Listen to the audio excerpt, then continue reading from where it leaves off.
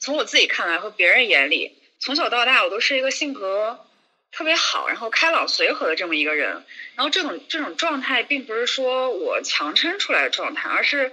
就我我可能自然散发的是这样的一个性格。但可能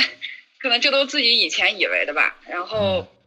从去年三月份的时候，基本上就都开始变了。嗯，去年三月份开始，突然间真的是莫名其妙，突然间开始关注自己掉头发这件事情。然后其实在这之前，正常情况下来说都会有掉头发的事情的，但是我不知道为什么突然间就在那个点，三月份的那个点，突然间就开始关注。然后前一阵子还觉得啊，怎么掉头发，心里面会有一些不舒服。呃，加上我其实以前一直是。我的发质和发量都特别的好，就是逢人就说：“哎呀，你的头发好好啊！”是这样。但是以前掉头发，我也从来没有关注过这样的事情。然后从去年三月份开始疯狂关注这个事情以后，就发现掉头发这件事情很正常。可是从前从来没有关注过。然后从去年开春的时候，就莫名其妙突然就开始自己关注，说怎么掉了这么多头发呀？这样。然后好了，这样的事情吧，就是你不关注还好，越关注它反而越严重。然后越关注呢，就会按照你关注的那个方向去发展，嗯，就感觉你自己就感觉说，好像头发真的没有以前那么多了，嗯，但可能那个时候还是自己认知上的问题，并没有产生那么严重的后果。但是真的就是你每天不停在这样想，不停在这样想，它可能就真的会落落实到一个现实的状态，它可能就是确实没有以前头发那么好了。然后从那个时候开始，我就觉得。事态发展就有就有一些不对了，就自己就根根本控制不住了。每天开始关关注自己掉多少头发，然后看到每一个人，第一眼都是先看他们的头发怎么样。然后每天晚上睡觉我也在想，我要是掉的越来越多了怎么办呀？然后头发以后少了怎么样？就是每每天每时每刻都在想着这件事情。然后那个时候就到后期就已经发展成严重影响到自己的精神状态。呃，严重到就是影响到睡眠、吃饭、身体状况这样的问题。其实那个时候，我个人感觉已经是焦虑症了，但是当时没有太太强烈的意识。然后焦虑症之后，我其实那个时候我知道自己的精神状态是有问题的，但是我根本控制不不住，然后自己也不敢去面对。但是由于已经严重影响到自己的生活了，所以我就去。呃，我想先从中医开始，因为中医可能没有那么，呃，就像西医一样那么猛，呃，扎针啊，然后吃一些中成药这样的。然后我去呢，也一直是跟医生讲说我的睡眠不太好，因为我不敢，就是不敢说我精神状态出现了问题，其实也就不敢面对吧。然后那段时间，我大概说一下我整个人的状态，其实，嗯，跟大多数焦虑症的患者一样。嗯，惊恐发作是常有的事情。那个时候，呃，可能起初是一周一次，但是后面基本上我我每天都会有惊恐发作。我刚开始是会出大汗，然后心慌，就就跳得非常的厉害，然后不停的出冷汗。那个时候，就是我能感觉到不是天热的出汗，自然的那种出汗，是感觉紧张和恐慌，自己就出开始出盗汗、出冷汗这种。然后晚上睡觉的时候会一阵一阵的惊醒，嗯，就可能睡着睡突然间就惊醒了，或者刚准备入睡的时候突然突然就惊醒，对，然后这是前期最最开始的表现，所以那个时候就刚开始去了中医，就说给我看一看睡眠这一类的问题。但其实那个时候我嗯不像可能呃有一些朋友他们会觉得说。我不知道是什么情况，我就先看一下我是不是心脏的问题，或者是肠胃的问题。我那时候其实隐隐约约有意识，觉得是我的精神状态导致的。我后面一查，知道这叫惊恐发作。对。哦，那你你觉得这个时间有多长啊？就是从你一开始关注这个问题到惊恐发作。从开始关注到第一次惊恐发作，应该有一个月的时间。然后自己静不下来，呃，就是躁动到说我在上班的时候。我在上班坐着坐着就会突然间特别难受，我必须要出去走很大的圈，然后非常大非常大的圈，我不能让自己停下来，因为我一停下来，我觉得自己就不行了，我就控制不住自己。然后我边走圈边动的时候，我会边哭，然后我不知道自己什么时候就这个状态什么时候是个头，然后我觉得那个时候就觉得自己快完了，嗯 就接近疯狂，对发疯的那个边缘，就觉得自己快完了，就是每天都是这样的想法。睡眠就就不用说了，严重的时候就是六天不睡觉。那个不睡觉不是说呃我不困，是根本没有办法睡。就是我刚准备睡觉，突然间就惊恐发作了，出盗汗啊，然后身体一半身体是发麻的，然后手脚发抖，心跳心慌，就根本没有办法睡觉，然后就觉得自己快崩溃了。感觉自己在悬崖边上，怕掉下去，但是又从悬崖这边走不出来，就神经已经紧绷到了极限，对，嗯就歇不下来。我觉得自己就快疯了哈。嗯，然后那个时候，对，因为我住我在北京，然后我就住在我亲戚家，我又不敢跟家里人说，我怕家里人担心，然后我会跟我我就跟我妈大概说了一下我的状态，然后我妈妈就从家里来北京照顾我，然后那段时间给我妈折磨的，我觉得我妈都快焦虑了。嗯。因为晚上跟着我一起没有办法睡觉，然后白天看我这样的精神状态很差，对，然后基本上我那个时候从三月份开始一直到八月份这五个月的时间吧，五六个月的时间，基本上一直持续这样的状态，每天都是这样的状态，所以这五个月的时间，我说句非常不好听的话，我那个时候特别能够理解说他们自杀的人的状态，因为不是想要去，而是你觉得自己真的撑不住了，太痛苦了。然后嗯。我觉得，呃，很多焦虑症患者一定也能理解这样的状态，就是非常的痛苦。然后，但是到八月份之后，呃，我妈就说，嗯，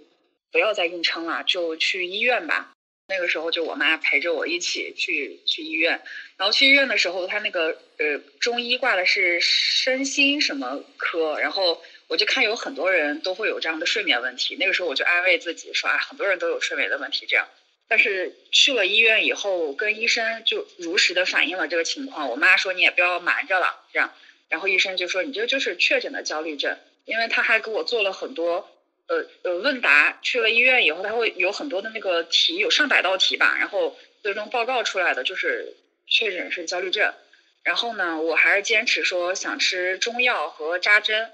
但是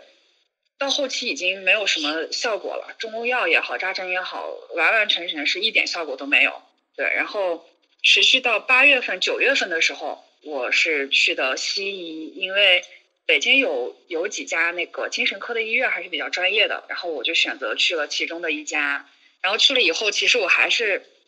还是比较恐惧，就是不不敢面对说我要挂精神科，比如我要要我要挂抑郁科或焦虑科，我还是选择挂睡眠科。然后我甚至跟医生表达的都是我的睡眠状态的问题，但是医生他会问的比较深，那他说你这问到最后他就说非常明确的讲说你这个不应该来来挂睡眠科，你这个就是明显的焦虑症啊。然后嗯当时我听完，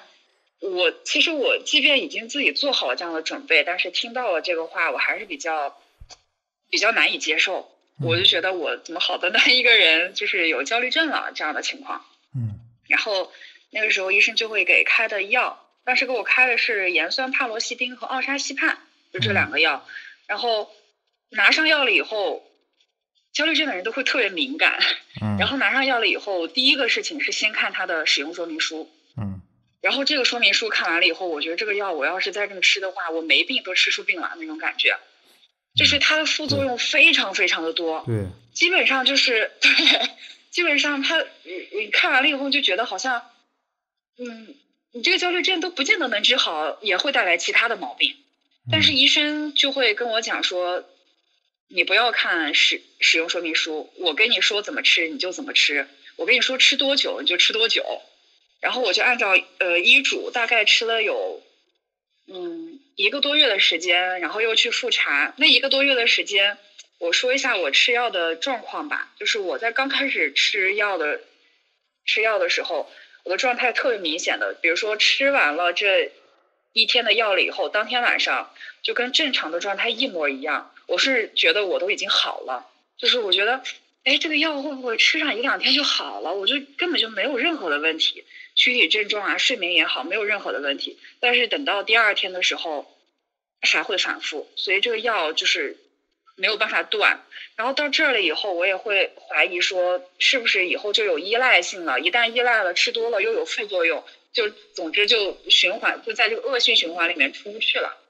然后，但是在这边我也想跟，就是还还在焦还在跟这个焦 焦虑症对抗的患者说，其实吃药是一个挺好的选择。你千万不要排斥吃药。如果一旦出现了比较严重的，已经严重到影响到你生活和严重的躯体症状的时候，选择吃药是对的。因为你得先让自己的躯体症状安定下来了以后，你才有更多的精力去平和你的内心，去想办法怎么样能够跟焦虑症和解。对，嗯，然后吃药大概。呃，一个多月的时间之后去复查，然后跟医生说了一下目前的状况，然后还是得继续吃药，就等于说，我从第一次开始吃药，一直到最终彻底断药，大概用了三个月的时间。就是我在今年过年的时候，我把药彻底断了，因为今年不是疫情嘛，疫情期间也没有办法回来，对，就整个就封在家里面了。封在家里面之后，发现没药了，没药以后觉得，哎，好像没药也可以。嗯，对，然后就彻底就把药给断了。嗯，但是从过年期间到，应该是到今年的六月份，或者甚至说到，也也就是在这之前不久吧，其实断断续续的也在焦虑发作。就是我我记得我看了一句，呃，一句话，就是说焦虑症这个东西，它是螺旋式复发的一个状况。然后，如果你够坚定的话，最终胜利的一定是自己。然后我就一直记着这句话。虽然说复发的，就是复发的时候，他非非常痛苦，然后就觉得说又回到了，又把自己打回到了原先的状态。可是，当你想起来这句话的时候，你觉得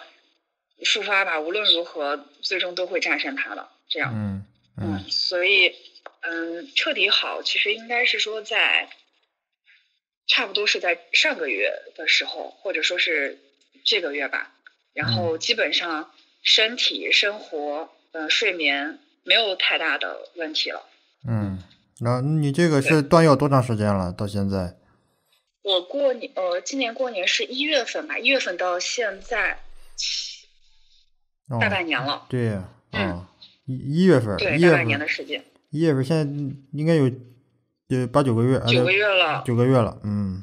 对，对对，那行，那还那还不错啊。对，那你有没有试过别的方法？就是除了吃药之外，对对对，我现在想说一下，就是嗯。在在这段呃发病的期间，然后我用过的所有的方法吧，嗯。就是，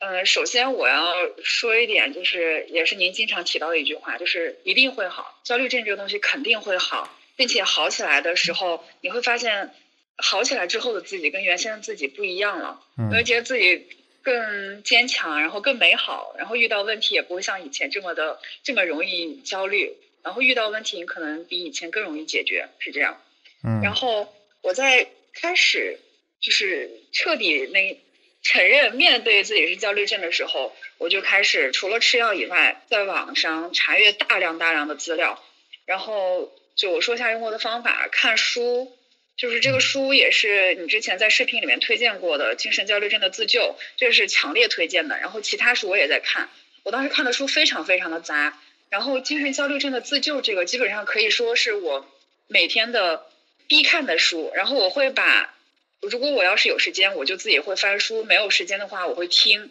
然后或者自己焦虑症发作的时候，我静不下来，我就会挂着耳机去听书。然后比如说当下的力量啊，然后潜意识的力量等等等等，就甚至上升到灵性学的一方面，就所有的东西，只要能够治愈到自己的所有的书，我都会看。我大概听的书、看的书那段时间加起来十几本是有了，嗯然后看书啊，然后还有关注这个媒体，比如说 B 站啊、知乎、贴吧，所以我在 B 站上面也就有很多，就发现很多宝藏 UP 主，包括你这边，嗯，嗯。然后还会有，就是那段时间会去做，会去看心理医生，做心理治疗，然后可能也会用到很多的方法，就是说有森田治疗啊，然后什么重新认知啊等等。嗯那个时候，呃，讲真话，其实，在心理治疗上花的价钱不小。我找的，因为就想找特别特别好的老师来给你做心理疗愈。然后那个时候，我说下价钱，一个小时是一千五，然后我每一次治疗要去要做两个小时，每周都要都要去做一次。所以那那段时间，光是做心理治疗可能就花了我几万块钱的时呃几万块钱，但是那段时间好像钱对于我来说都不是一个，就都不是我想要考虑的问题。我甚至觉得说，当有个人说，哎，小满，如果我要给你几十万，我一下能够让你好起来，能够把你治愈了，我能够毫不犹豫的就把这大几十万给他。我当时觉得，只要你能让我好起来，怎么样都行，是这样。嗯。然后，嗯，我还会去，呃，看书、冥想，然后看各种各样的媒体，查阅所有的资料，然后运动。运动，我我那个时候每天都会跑五公里。然后那段时间，我会呃强行把所有的工作在白天都做完，然后晚上我会早一点下班，因为我是做互联网工作的。嗯。然后互联网可能下班的时间，它会它相对就会晚一些。然后那段时间我也不管周围怎么样，我就想先把自己先把自己治好了再说。所以我就会把所有的工作放到尽量放到白天都完成，然后晚上如果有会的话，我我也尽量不参加。我要保证自己回来每天都要跑五公里，然后白天就会做瑜伽。所以那段时间我从跑步跑了有大半年，然后做瑜伽我是一直坚持到现在，也是每天早晨我都会做半个小时到一个小时的瑜伽，大概是这样。嗯，对，然后，嗯，我想说一下冥想的这个这个事情。我觉得，因为冥想在瑜伽的过程当中也会有，然后我觉得冥想是一个特别特别好的方法。其实可能没有焦虑症，也就是也是最接近自我，就接近内心的一个办法，就是冥想。然后刚开始做冥想的时候，就是别说焦虑症患者，就正常人，我觉得都很难说，我刚开始我就能够保持一动不动的在那闭上眼睛做个五分钟、十分钟。我就刚开始我闭上眼睛做一两分钟，我我就不行了，我都快疯了，就是呃，对，出汗啊、发抖，就是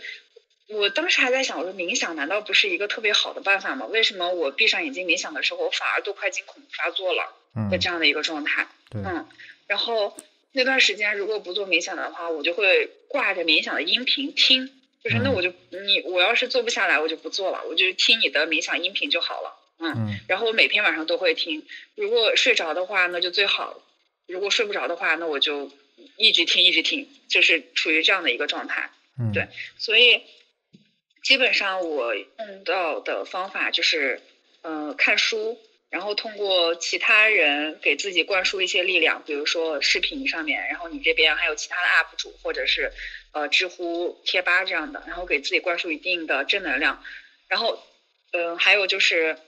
冥想，然后看心理医生，然后运动。我觉得运动是一个特别特别，就运动加冥想是一个特别特别好的办法。然后我在这里面说一个细节，就是我到现我从发病开始一直到现在，我基本上我就把所有。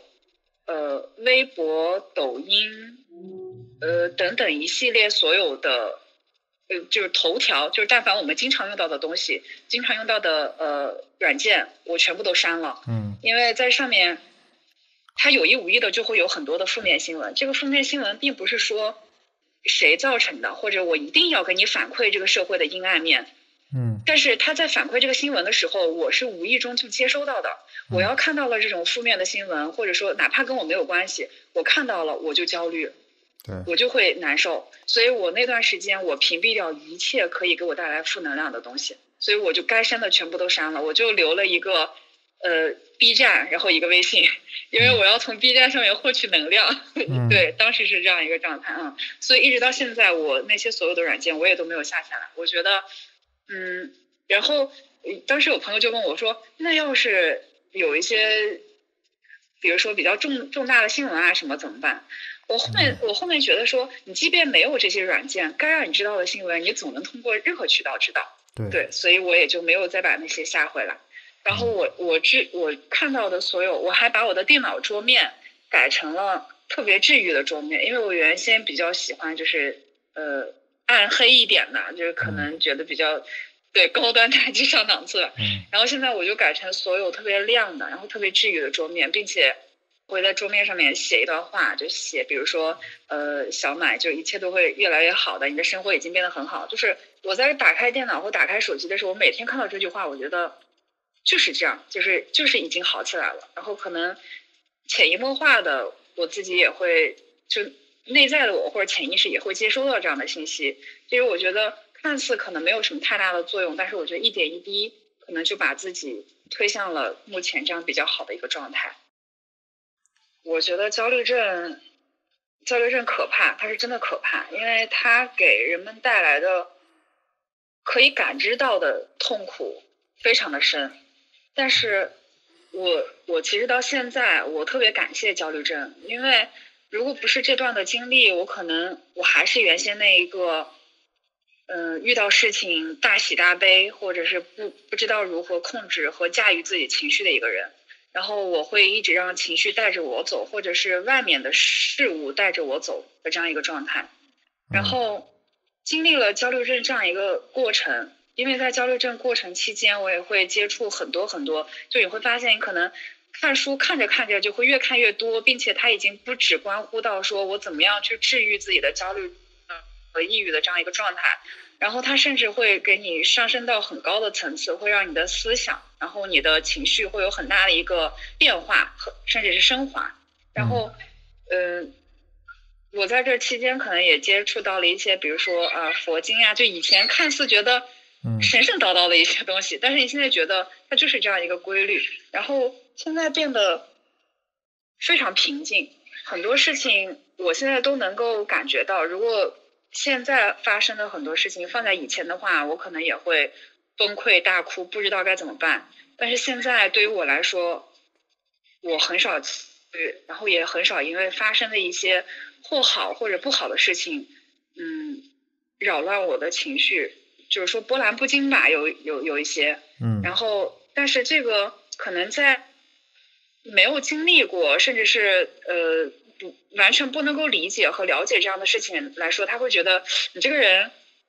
好无趣啊！为什么所有的事情都都不了你的情绪，就是都好像听不到你一样的？但是我觉得，对于经历过的人来说，他们一定知道平静是你一生中最大的礼物。我那个时候觉得，对我刚开始，呃，确就是知道自己焦虑症的时候，我第一个想到的是，我每天都会问自己，说我怎么样能够回到以前。然后每天都会哭，疯狂的哭，毫无目的的哭。就是我，我到底怎么样能够回到以前啊？你看我以前的状态多好啊，是这样。但是现在，嗯，我现在并不觉得说以前的状态有有多么好。以前只不过是没有没有这么大的事情发生，然后有好的事情就开心，有不好的事情就悲伤。但是现在，嗯，不是这样。嗯，对。然后我现在感觉说，啊。我是觉得焦虑症把我给救赎了，嗯，对，嗯，然后把自对把自己抽离出来了以后，我会觉得我可以很好的跟周围所有的人事物嗯融合，然后我会允许周围所有的事情存在，像比如以前我可能会看不惯，或者是呃看不惯很多情。或者是当这件事情发生了以后，我会焦躁。哎呀，为什么会出现这样的事情？我现在是觉得，我基本上没有那么多看不惯的东西。我觉得，但凡是它存在的，好的或者不好的，甚至影响到道德层面的，我觉得这也是，这也是可以存在的，就是包容包容性会更强。对，嗯，你一开始关注那个头发那个问题，后来是怎么解决的？啊，头发这事情其实。嗯，我觉得，我个人觉得关注头发是一个，只是一个导火索。就是我反思了一下我焦虑症发作的一个原因，就是我觉得头发掉头发是它只是一个导火索。我在掉头发之前，其实有一段嗯恋情吧，算是呃比较影响我比较深。然后我在这段恋情里面也并没有得到比较让自己比较快乐和舒服的一个状态。所以我那段时间，我基本上每天都是特别焦虑的状态。比如说在谈恋爱的时候，我我每都很焦虑，然后嗯生气，然后怕失去，然后呃焦虑恐惧，就基本上每天都是这样的一个状态。然后分手了以后，自己基本上也也处于这个特别难过，甚至是崩溃的这样一个一个一个状况。然后那段时间好了之后，我觉得哎，好像这这个失恋就过去了，因为。就是时间总是能够把情感问题治愈嘛，然后但是没过多久，这个事情就发生了，所以当时是觉得说，哎呀，我要能把头发治好了，嗯，我的焦虑症就不存在了。但是我现在回想一下，其实可能也是跟我个人也就是个人的一个性格有关。虽然说开朗随和，但是我可能太过于敏感，太过于关注一些小的问题，可能很多事情它并没有那么重要，你就死抓着不放。比如说，呃，一个不太适合的人，或者是你的头发，它并没有那么重要的时候，对于你来说，它好像就成为你的全部了，所以你就只关注这些，导致自己嗯的心就没有那么大了。对对对，然后头发这件事，然后头发的这件事情，其实是呃，我那段时间也是除了治疗我的睡眠以外，我也会去呃看掉头发呀，就为什么呀这样的情况。到后面我基本就不管了，就是当我自己平和下来的时候，或者说我的焦虑这个状态没有了的时候，我自己也就不管了。我甚至会觉得说，它没有到我预想的那么极极端的可怕的状态发生，它现在还存在。嗯并且别人有的时候也会说，哎，你头发挺好的。然后放在以前，就是焦虑症刚开始的时候，当别人说这句话的时候，我甚至觉得别人在讽刺我。嗯对，我自己掉头发是什么样的状状？对我自己的状况我不知道吗？你为什么要说这样的事情？并且你以前不说我头发，你为什么现在说？就极其的敏感。但是现在，嗯、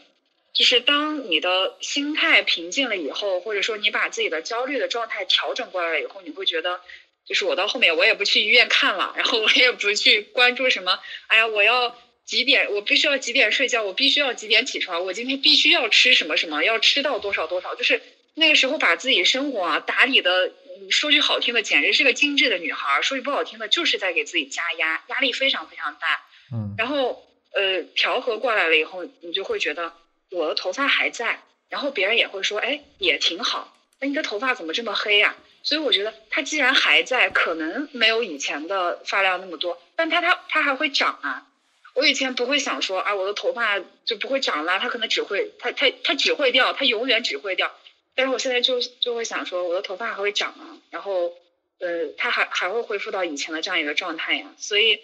就我现在发现，当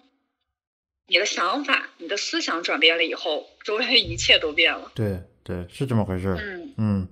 对对对，是这样。嗯，其实这个头发就跟你那个谈恋爱失败时都是一样的烦恼，对吧？你都是执着在上面了。嗯然后我想，我想说一下，呃，大熊你这边给我的帮助。然后因为其实，呃，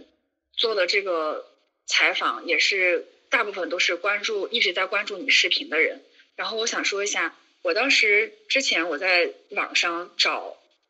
找帮助或者是找温暖的时候，我就无意中发现了你安大雄的视频。然后我点开了以后，我当时因为我关注的，比如说治愈焦虑症或治愈抑郁症的视频太多了，但是我看完以后，我有些甚至更焦虑、更抑郁。他们就会说说很多关于嗯恶性状态的事情，我怎么怎么着，然后我又复发了，我都不知道自己该怎么办了，就会一直这样给你传达。然后有些时候可能会给你一些方法，但这个方法真的是一瞬间的，你当下觉得挺好，但它只是一瞬间的事情。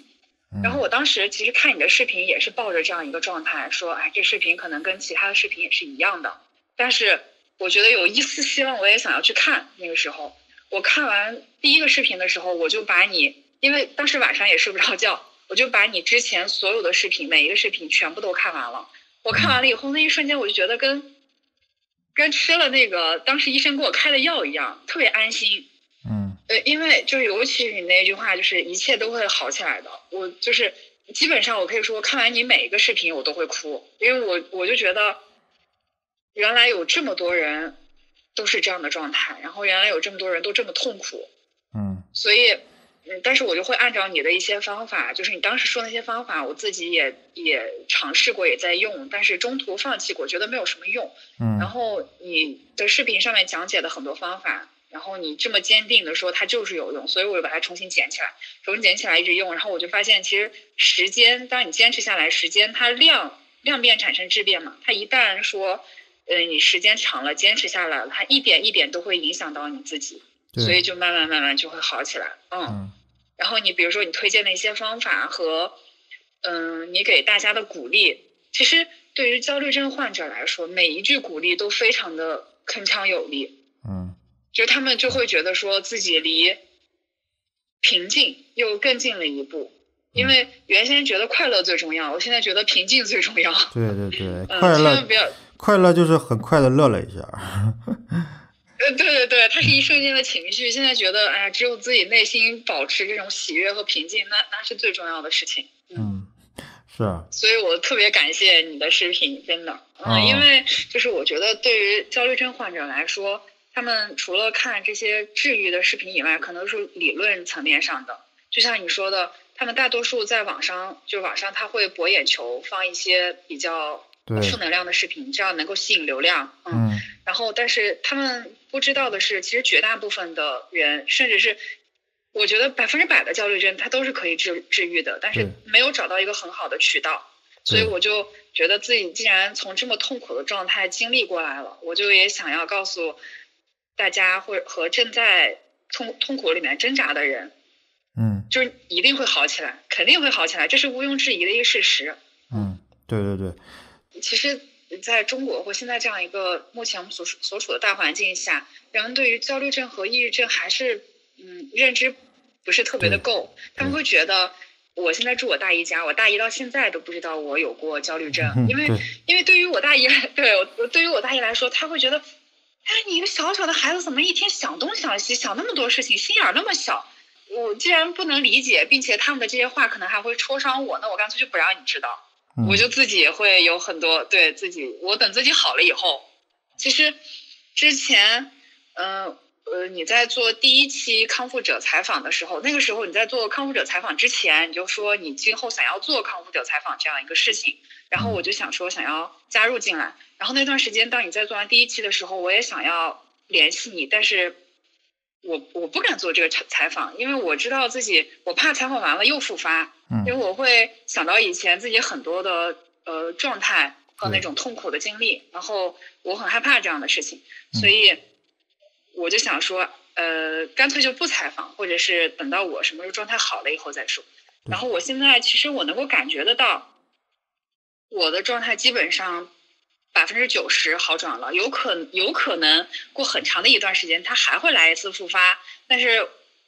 我就知道下一次的复发一定比现在小，就是轻很多，甚至可能就是普通的一个一个焦虑的情绪。对，所以我现在对我就希望能够说，大家不要呃，除了只看理论上面的一些知识以外，还要有很多亲身的经验告诉你，就是能够好起来。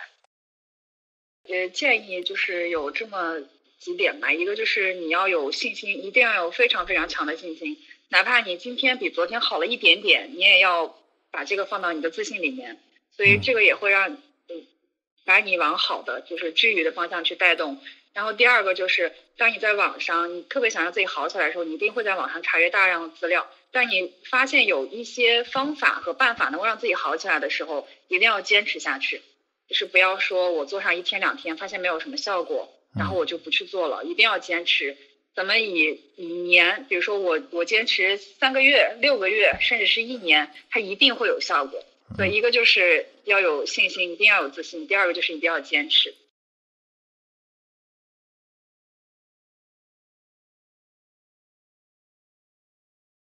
大熊，我刚在下班的路上，然后一直没有回语音，那我就把我今天补充的这一部分就语音发给你哈。就是我们在康复的路上，一定要持之以恒，一定要坚持。最重要的就是坚持，持之以恒去做你认为正确的事情和健康的生活方式的这种事情。不论你现在的处境和你的状态有多么的糟糕，只要你不停的去做你你现在在做的对的那件事就可以了。还有就是一定要关注那些让自己变好的事情，而不是去关注那些怎么样做才能够消除症状的事情。这看似是，呃，一个意思，实际上是完全两个不同的事儿。比如我运动是是一种健康的生活方式，我的早睡早起是一种健康的生活方式，而不是我这么做了就可以消除我的症状。一定要关注那些，就一定要想把想法拉到。拉回到说这么做会一天比一天好，那中间可能会有一些不尽如人意的结果，不要去想它，只要坚持去做就行。我们所有的症状和这种痛苦的感觉，其实都是我们的负面想法和这种负向的思维带给我们的。所以，一旦出现了这种负面的念头，或者是让自己难过的情绪，慢慢的把它拉回到我们当下做的事情，比如说吃饭，比如走路，比如敲桌子、洗澡等等，就这些看似微不足道的小事，只要负面情绪一上来了，我们就慢慢的把把它拉回到我们现在在做的事情上就可以了。嗯，这种不断的把念头拉回到当下，就也是。大雄不不停在说的这种事情，一定要一遍一遍的循环往复的去做，等到时间长了，它就会成为一个习惯和自然。选择一个适合自己的，并且自己觉得比较喜欢的一种健康的生活方式，坚持下去，不要去强迫自己做那些不愿意做的事情。嗯，举个例子，可能我不喜欢跑步，但是跑步可能可以，大家都说了，跑步可以缓解焦虑和抑郁，那我就去跑。但是我在跑步的过程中，甚至感受不到一种畅快的感觉，那我们就不要去跑步了，去做那些让自己快乐的，并且能坚持下去的事情就可以了。然后我想说一下，嗯，复发的这个事情。复发在康复的过程当中，一定是一个必然的存在。大家在尝试了第一次康复的这种状态的时候，就觉得恢复了往日那种特别活力的自己，然后就觉得。一切都恢复正常了。等到第一次复发的时候，可能会把大家打回到最原始的痛苦的状态，甚至更加痛苦。但是还是要记住，我们之前是怎么康复的，就在复发的过程当中，怎么样用之前的方法去做。不要觉得说怎么复发了，那是不是结果就会越来越不好了？反而我认为，复发是痊愈的第一步，因为只有。不停的复发，这种螺旋式的复发才会越来越接近彻底的痊愈。然后，嗯，可能有些时候会有说，就有些人会觉得复发一次比一次好，但是有一些情况是，呃，但是经有一些是经过了几次复发之后，可能有一次的复发会爆发式的，甚至比之前的复发和第一次的这种。呃，症状更加严重。我认为这个就是已经在好的边缘了，因为，嗯，我感觉说，在一件事情彻底变好之前，它总会有一次大规模的爆发，所以大家千万千万不要头疼和焦虑复发的这件事情。嗯，我是认为只要复发了，那就已那就已经接近痊愈了。那如果，呃，经过多次的复发，有一次的复发是大爆发式的这种痛苦，那可能你就已经在。这这就是你最后一次的痛苦了，就已经要痊愈了，所以大家一定要坚持下去。嗯，补充的大概就这些吧，大熊，你看看怎么样给它剪辑一下，剩下的就辛苦啦。